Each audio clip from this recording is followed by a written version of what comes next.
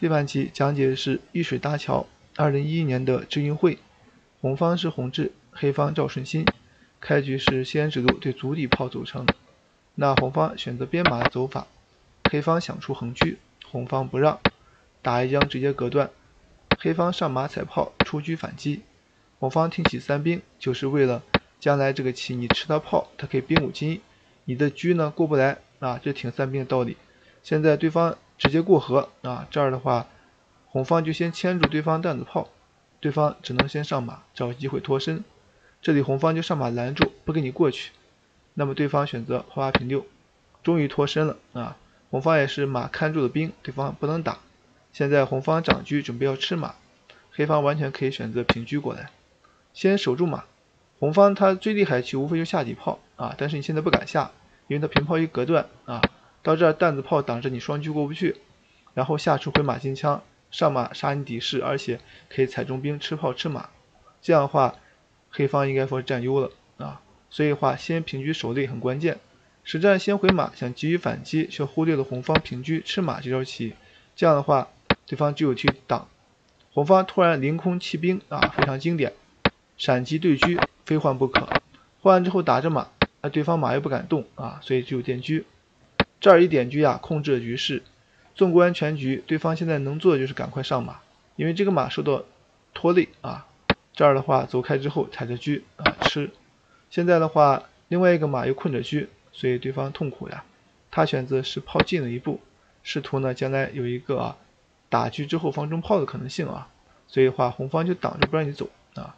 黑方的话现在就进，进的话红方就冲啊。这儿的话他就平过来准备拱马吃炮。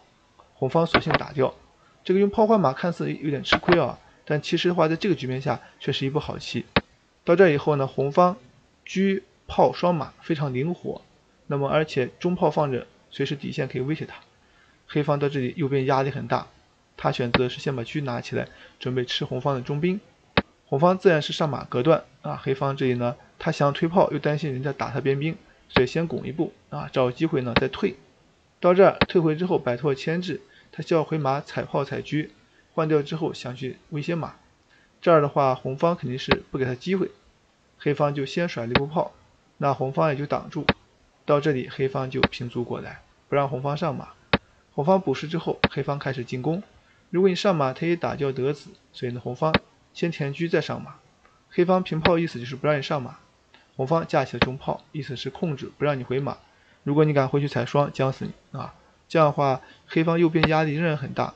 黑方平卒之后，红方要上马。黑方先走一招炮二平四。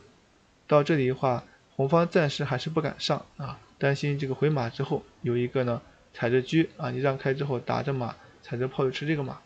所以临场走的是平车，下一步准备上马。这儿的话，这个棋他退回踩着炮了，红方自然是闪开。双方到这里形成了一个循环啊，什么意思呢？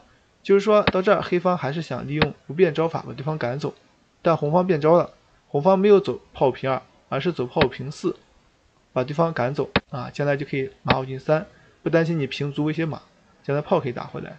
这样的话，这个棋啊，对方也是知前了事啊，红方想把这个卒抓死，黑方就趁机呢捞了一个实惠啊，到这儿的话把兵给吃了。红方现在退回要打车啊，黑方就平卒过来，先吃一个再说。到这儿的话，这个棋啊，现在把它摁住。对方回马的意思是我要上马踩车，把兵踩掉，你一踩我就可以吃马。所以当务之急，红方要赶快先把车赶走才行。顺势踩双啊，这边有马，你还牵不住他。就算你牵住，跳一张车也没了。所以对方远离是非之地啊，牵住他的炮。到这儿不让你马移动。红方先冲边兵，不着急。黑方把炮闪开，红方顺势点炮，准备甩鞭炮。对方赶快落势啊，仍然甩鞭炮。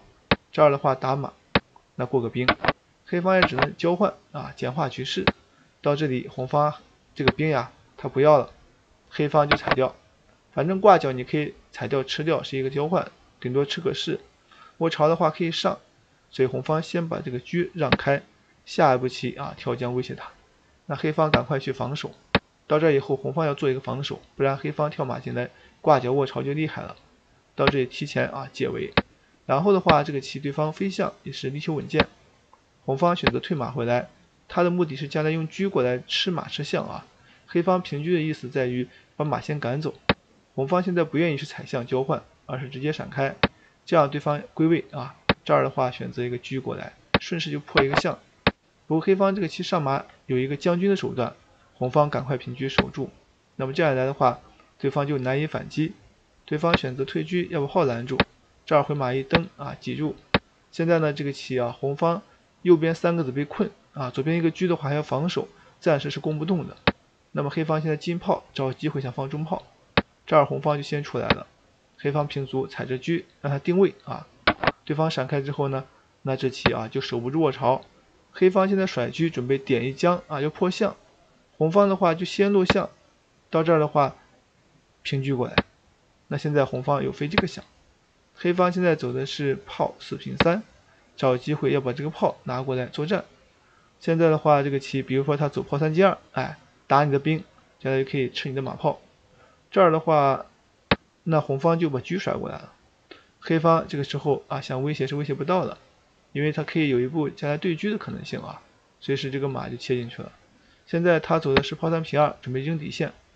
红方这个棋选择是冲边兵，黑方这时候就。堵住啊！这儿红方就一死对车，黑方也就换掉。双方到这里开始斗残局。到这里啊，我们看到红方是多了一个兵，多了一个象啊，明显是占优的。黑方的话到这里也只能苦顶。最终呢，这个棋啊，他想把这个马然后顶住，对方的兵先骗下去啊，找机会兵打死。红方的话先平炮很及时，准备呢拍将啊往下冲，配合窝巢马威胁对方。那对方就上啊，不愿意被将进去利用，然后的话，红方就过另外一个兵了。到这儿眼看形成围困之势，黑方也是试图反击。红方现在炮退一步啊，因为他看住了这个士，你是没法踩士，将军出来没有用。这边还负有上马将军的手段。这儿的话，这个棋啊，选择进一步，不让你这个马过去。红方只管平兵，黑方只好炮挤住，红方就出帅。到这儿的话，上马随时要卧槽。那么这个棋啊，对方现在他就上下走老将，红方呢卧槽暂时没有用，他选择是兵八进一。那么这个时候黑方也就下卒，红方兵只管过平啊，意思是利用这个兵过来，看你是进老将还是上老将啊。你要是老将不下去的话，就双兵杀你；下去的话就卧槽马杀你。所以对方到这里应该说是进退两难，他选择回去踩兵，试图呢通过踩炮的方式啊把他赶走。红方呢先拱一将啊定位。你要下去，他就卧槽马啊！你要是上来的话，他兵五平，所以对方这些痛苦不敢上呀，这边太危险啊！因为兵平两将，回马就杀了，所以他下去安全一点。红方啊，直接就把士给破了。这招棋呢更狠啊！对方这棋要吃掉，将来可能会进来踩炮啊，八角马。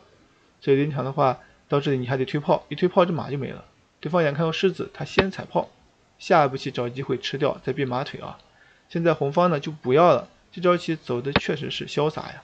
你一吃他两个兵就杀你了，这对方为了解杀只能落象，然后的话红方炮退一步，这儿不给你吃，黑方你将的话他现在就进来了，这里的话黑方下卒想对杀一下，显然这个棋来不及啊！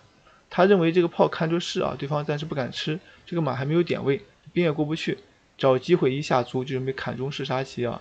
但是红方有一步回马金枪，对方这时候只好退一步，防止红方这个马。跳到右边去啊！到这儿的话，红方就马七进五。此招一出啊，表面看是要抓你的卒，其实呢，这个棋啊，它是兵六平五杀棋。现在你不吃两个兵杀，非吃不可。你一吃的话，这个马后炮就杀你了。你电炮的话，就攻你一将啊。到这儿的话，对方也是时间问题了。你出去就平兵，你要是走象的话，他这个棋更厉害啊！将来这很快就杀进去了，所以对方没有办法，也只能认输。那么红志获胜。